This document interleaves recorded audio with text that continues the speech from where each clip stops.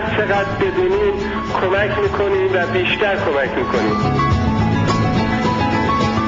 در حال حاضر من بیکارم شرایطم هم زیاد خوب نیست اما نمیشه که هم در همیاری شرکت نکنیم انشاءالله که ما بتونیم تو این راه کمک بیشتری بکنیم و در درگاه خدا سفید باشیم این پول را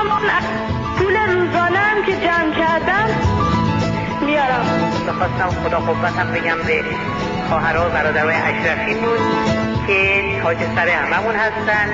دست همشون میبوسم. معلومه که اجرام ملت ایران همه چیزشون رو برای اشرف در طرف اخلاص می‌ذارن.